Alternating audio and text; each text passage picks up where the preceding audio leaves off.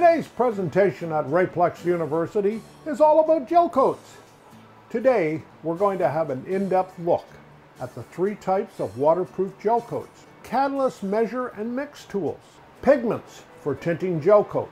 So let's get started. Tintable gel coats are available in three stock color types, white, which is pure white, and pure black, along with neutral, which is not which has not any pigments added to it. Brushing is generally used for hand gel coating a mold using a bucket and high quality paintbrush. As an applicator tool, this is one of the most common application methods used for hand laminating. Brushing gel coat is very thick and is often used in the repair and surface damage, which includes nicks, voids, and dings. Stock colors are white, black, and neutral. Uh, here's our new 100 milliliter catalyst mix and measure chart. It includes a syringe for measuring your catalyst, a chart, and four of the 100 milliliter containers. The catalyst chart shows the corresponding number of cc's uh, to the temperature to the amount of gel time you'll get.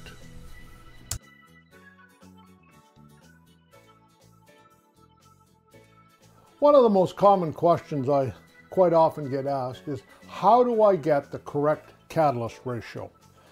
And with this in mind, we went and developed the catalyst measure and mix container system, which is we have both a 100 milliliter and a 500 milliliter kit for mixing either gel coat or resin. These, these kits come with uh, four mixing tubs like this, plus a graduated container for measuring the, um, the volume of catalyst or, or, pardon me, gel coat or uh, resin that you want to blend in. They're graduated on the side with either in milliliters or in ounces, and they have some ratios on there too that work pretty good. Anyways, how do you use this thing? Well, what you do is you start off and we're going to pick this container, which is a 100 milliliter kit, and we're going to fill it up with 100 milliliters of gel coat. So let me go ahead and do that. So you start off by adding 100 milliliters of gel coat into there. Now, you would look up on the chart and you would want to mix up approximate, mix this up using, let's say, one and a half uh, percent catalyst. So to achieve that, we're going to use some catalyst here and our graduated little syringe that comes in the kit. And it's going to take one and a half of these. And this has is graduated from 0.1 of a milliliter up to one milliliter. So we'll take it in, we'll take it out, squirt that in there, go back in again, we'll take a half, add that. We've now added one and a half percent catalyst to our mixture of gel coat here. Then what we need to do is mix it up. Now mixing takes is it isn't quite as obvious as it seems. Most people want to do this around in a circle. Well all that does is take the material and stratifies it so your catalyst is heavily concentrated on the top and there's very little. What you want to do is mix from the bottom up. So you're always drawing the material from the bottom of the container to the top, and that way you're getting a good mixture. This should take about one minute, and you should get a good mix with this, and it'll cure properly. You won't get any yellowing. Uh, and whatever repair work you're going to do, it, this will this will suffice.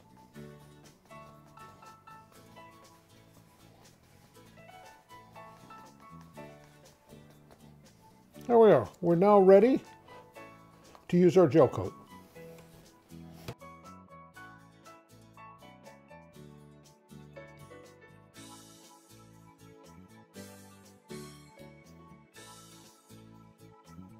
In brushing gel coat onto a mold, you need to get the right thickness. The way to do this is to use one of the mil gauges. First, you press the mil gauge into the side of the mold hold it gently, and then pull it away. You can see this one right now we only have about 15 mils of gel coat. To build up the thickness we need to brush on a second coat very heavily. Now we'll take the mil gauge and we'll press it into the side again.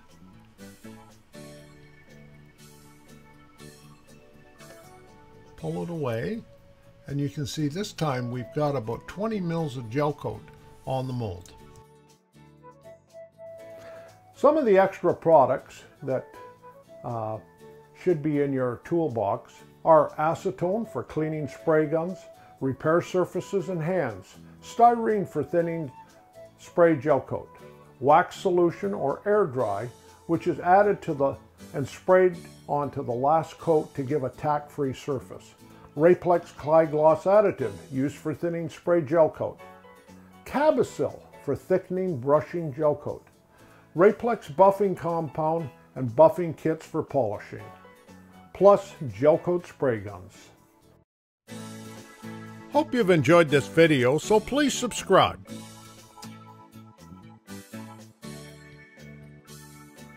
If you have any comments about this video or would like to suggest topics for future videos, drop us a line at www.fiberglass.com.